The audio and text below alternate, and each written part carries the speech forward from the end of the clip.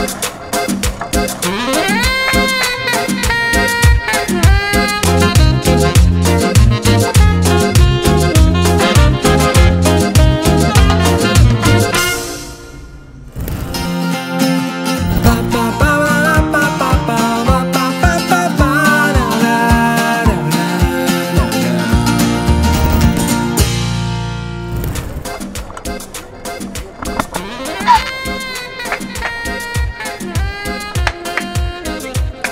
Bueno, seguimos conociendo Aguascalientes, estamos en el Jardín de San Marcos, en donde hay varias esculturas aquí, y ahora aquí nos encontramos al clásico Sereno. Este es un señor que cada, cada hora pasaba gritando la hora en la noche, las 12 y Sereno, y traía una lámpara que ya le robaron por aquí. El Jardín de San Marcos se encuentra localizado en el corazón del barrio de San Marcos. Es un espacio público y es uno de los íconos de la ciudad de Aguascalientes y también de la famosa Feria Nacional de San Marcos, que por cierto ya casi llega.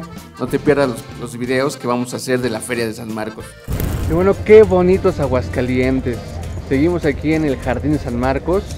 Y bueno, este Jardín San Marcos es clásico aquí en Aguascalientes. Mucha paz se respira aquí, hay mucha naturaleza y también hay mucho romanticismo. Aquí las parejas se vienen a, dar sus besitos, a saludarse. Tenemos enfrente de nosotros lo que es el kiosco, el clásico kiosco en los parques.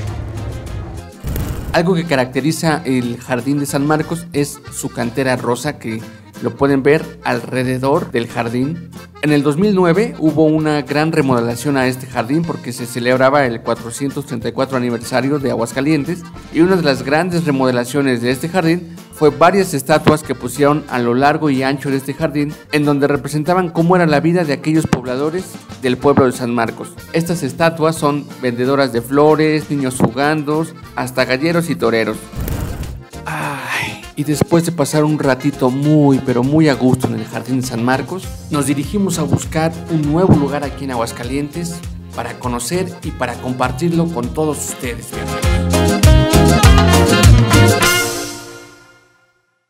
Viajeros, no lo podemos creer, estamos en Aguascalientes. Esto es muy especial para nosotros porque fue donde nos conocimos. Y estamos caminando en la calle, prácticamente donde nos conocimos. Este lugar ya no está, se llamaba... Eh,